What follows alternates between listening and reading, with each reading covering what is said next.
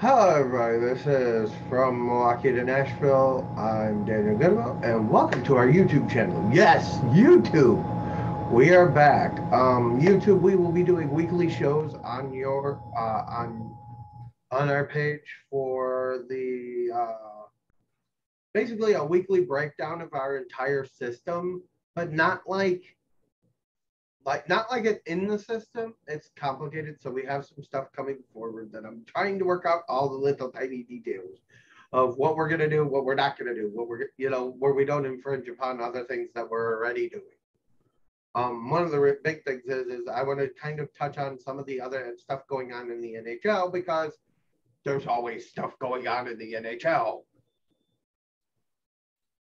So, but that's not why you're here you're here to see our breakdown of the draft. So, first off, how the heck Montreal got their first round back? Okay, so here's how you got that. All righty, so it was a first round conditional by Carolina. Carolina and Montreal and Arizona made a trade for Christian Dvorak. Montreal did not make the conditions, so Montreal got their pick back, but Carolina's pick goes to. Uh, in a weird sense, Carolina got screwed. Let's just be. um, Christian Dvorak still plays for them, and we are where we are. Um, with that pick, they selected Juraj Slafkovsky, um, talented big left winger. Um, I think that that you know is helpful um, for them. Also today, Montreal's been very busy. Um, Montreal also gets uh, trades Alexander Romanov in a fourth uh, for the Islanders first, which is the 13th overall. Um, they then flipped that 13th overall and the 66th to the Blackhawks for Kirby Dach. Um, so there's that. Um, so Montreal already making moves. Um, the uh, New Jersey Devils pick at the second spot for the whole sole reason.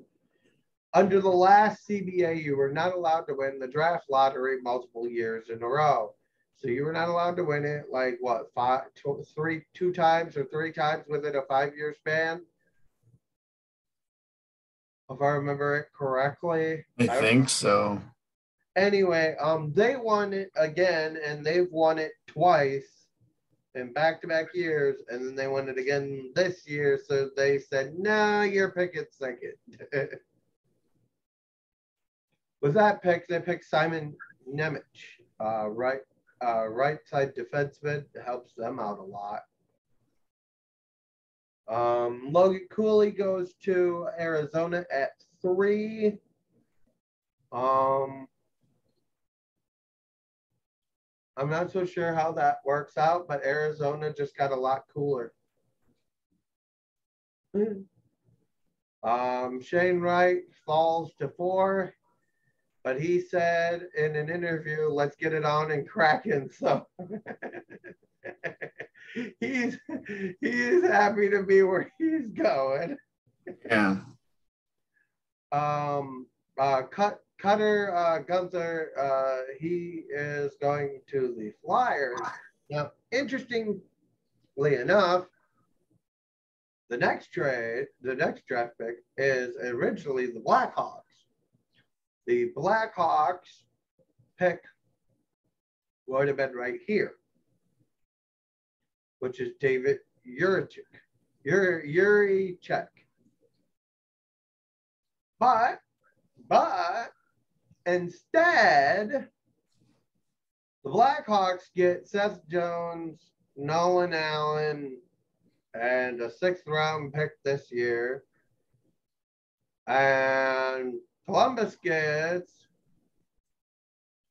Cole Sillinger, David Jiricek, and Adam Boqvist, along with Alexi Himosalami. Yes, I no, I did not butcher that. That's literally his name. Out of that trade. So that trade tree is done. Alex DeBrincat on the move to the Ottawa Senators today from the Blackhawks for the seventh overall pick, a second round pick that is the 39th pick, and Ottawa's third round pick in 2024 with the seventh overall pick. The Blackhawks select Kevin Korchinski, left side defenseman. Um, the Detroit Red Wings select Marco Kasper. I was actually surprised to see him go this high. Um, Matthew Savoie was the one I was figuring they would pick, but it is what it is. Um, Matthew Savoie goes nine to Buffalo. Um, uh, Pavel Mintyukov, uh, he went to the Ducks left side defenseman. Cutter Kiki, part of this trade. This trade baffled me. Okay. Yeah. So this trade legit baffled me. Arizona get trades the trades for the 11th pick for the San Jose Sharks from the San Jose Sharks, where they select Filip Bystedt. Okay, and so at 27, I'm already reading off who they picked, Filip Bystedt.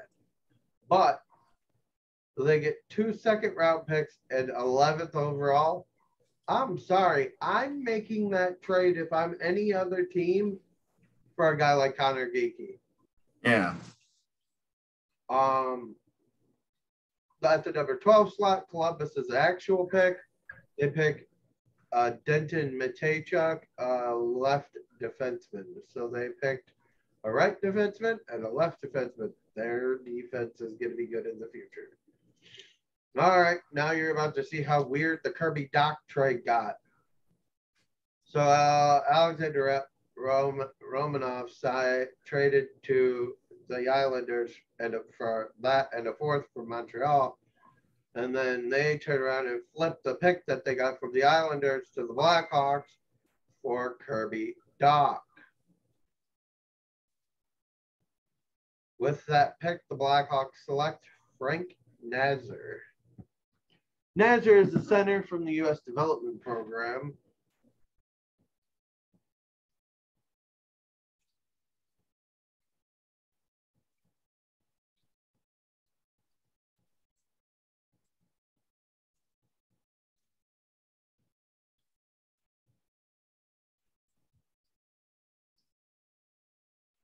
All right, and uh, John is.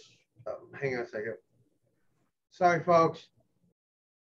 All right, sorry, folks. Uh, had some uh, breaking news come across our desk. We will be getting to that after this. So check out our Facebook page from Milwaukee to Nashville or at MKE2 Nash or NSH. Um, so at the 14th overall pick, uh, the uh, Winnipeg Jets select Rutger McGroarty. Uh, he plays left wing and center, so it gives them a little bit of versatility there. Um, then uh, same thing for Vancouver. They got a right winger and a center, uh, Jonathan Lekkerimäki. Uh, here's where everything gets a little wonky. All right. Remember the Jack Eichel trade? Yep. Noah Olstad, Ostlund. Buffalo Sabres get Noah Ostlund. So Buffalo has two centers now in this draft so far. Um, Ostlund's a good Swedish center. I think that uh, he'll do well there. Um, Nashville selects Joakim Kemell um, after watching some of his scouting videos in between our video we did on him. And now um, I'm even more pumped. mm. He is a power play slugger. he kind of reminds me of Ovi in that way. He will go to that circle and he will just stand there. So, um, uh, 18th is Liam Bichsel. Um, he he was one of the ones that I was thinking if if if there wasn't a good forward on the board, that Nashville may jump at that def, that in particular defenseman, six foot five defenseman, stud stud player. Um, Dallas got themselves a good player in him. Uh, Liam Ohgren, uh, left winger, uh, that was part of that whole Kevin Fiala trade. Um, well, I think they got a steal in that. Washington gets another Russian player, Ivan Mershenko. Um, so there's that. Uh, another one that Preds fans were calling for was Owen Pickering, um, young defenseman, left side. Um, then we had uh, Nathan Guttcher out of Canada. So the reason this pick has come to fruition is uh, anybody remember Hampus Lindholm being traded at the deadline to Boston? Yeah. For John Moore, Urho Van Vaakanainen, a first, a second, and a third in consecutive years. Yeah, Nathan Guttcher is what the Ducks picked up with that. Jimmy Sigurd. Uh, right wing center. Um, we'll see where he is there. Dan- Danala or Dan- Danala Yarov, right winger, Russia. Indefinite as far as the amount of time that they have to sign him. However, um, the Minnesota Wild get another Russian hockey player. Um, Sam Rinzel, uh, part of a trade that the Leafs and the Blackhawks made. At first, I didn't understand it, and then I thought about it. All right. So the Blackhawks acquire Peter Mrazek and a first round this year in for the 25th pick. All right. Well, why would Toronto trade out of the first round and only get a second round pick? Well, let's talk about that for a second because you just dropped $3.5 million on the Blackhawks salary cap. That is why the pick was the way it is. So there's that as well as far as that part is concerned. So um, looking at it from that perspective, um, it makes sense because the Blackhawks get some goaltending and the Leafs get some valuable cap space. Right. Um, which everyone's trying to get. The uh, Montreal Canadiens, remember Tyler Toffoli. Remember the, the, the trade that started it all. February Yeah. 14th, 2022. Tyler Toffoli traded from the from Montreal to the Flames for Tyler Pitlick, Emil Haninen, a first round pick, which was conditional. If the pick was at the top 10, then the 2023 first round pick goes to um goes to uh, uh, or as I should say Calgary's 2023 first round pick would go to Montreal. The conditions were not met, so therefore um, Montreal gets the pick. In this draft, Filip Mesar, right wing. All right. Uh, Filip Bystedt, I said about the uh, old uh, Arizona Coyotes trade. So that's how that came of play, which is weird enough because the San Jose Sharks acquired this somehow. Yeah.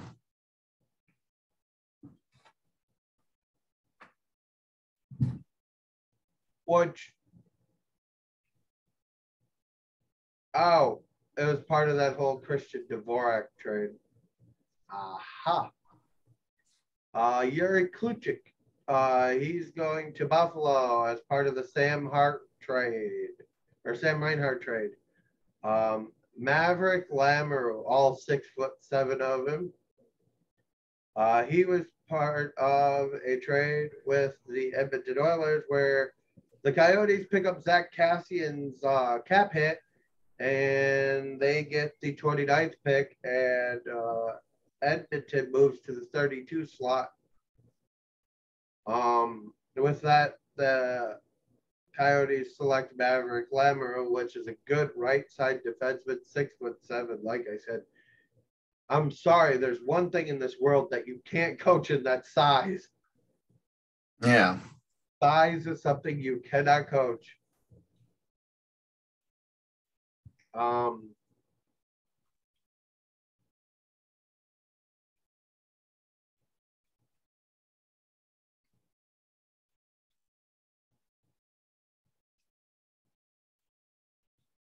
um, so uh, there's that as well. Um, then Brad Lambert, oh man, did he drop? Yeah. He dropped hard, and I felt bad for him because he was sitting there a while. Yeah, he was. I mean, we had him projected to be picked by the Preds, so Right. he dropped hard. And and you know what? There's still a lot of good talent left in this draft. So um, tomorrow ought to be interesting to see how many people are are are fighting. You know, at fighting to get to the batting rack, as they say in baseball terms, to just get up there. Right. and can knock one out of the park with a you know because that's what tomorrow is is is the today you're supposed to get your your the guy that's at the top of your board that's who you pick Yeah. so that's why sometimes you see guys that aren't exactly in people's top tens in that get picked in the first round because they're at the top of their board um brad lambert is going to be a good hockey player part of the winnipeg trade for andrew copp Um, the uh, Lightning select Isaac Howard. And as I said, the Edmonton trade, because Darcy Kuemper trade with Arizona. Uh, Ed, Edmonton, so Darcy Kuemper got traded from Arizona to, to Colorado. Colorado um, then turned uh, Arizona then turned around and flipped it to Edmonton so that they could pick Maverick Lamoureux. And that is the first round of the NHL draft. Now, I do have some other stuff. Adam Boqvist signed today. Jacob Middleton signed today. Chris Letang signed today. Marc-Andre Fleury signed today. Dylan, Dylan Hetherington signed today. And Andrei Kuzmenko signed today. So there's your breaking news on the um, free agent trade signing kind of thing. Um, we'll see what more comes tomorrow. Obviously, there will be more tomorrow. Um, oh, the New York Rangers have uh, traded Alexander Gregoriev sorry about that. I forgot about this part. Um, to the Colorado Avalanche, the signing rights of Alexander Grigoriev to the Colorado Avalanche. So they still got to sign him Yeah. Um, for a third, a fifth, and another third next year. So a third and a fifth this year, and a third next year. So Colorado in the next two years has how many Rich? I am kind of curious to this because it looks like they've pretty much emptied their draft stockpile. Yeah, next year they have a first, a fifth, a sixth, and a seventh. The year after that, they have a first, a fourth, a sixth, and a seventh. Geek. I wouldn't say much for drafted development. if you want to look at it that manner.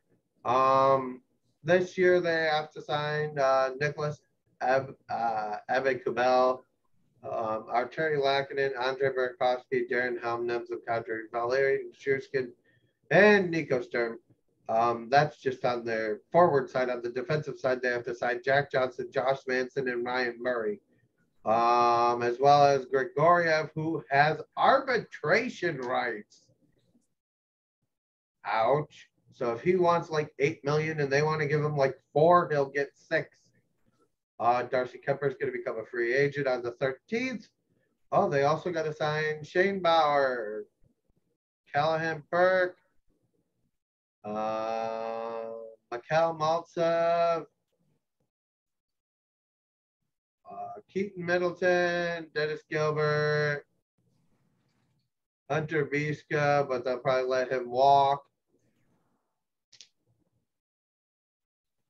As well as just running down Colorado real quick. Um, they have till August 15th to sign Tyler Weiss,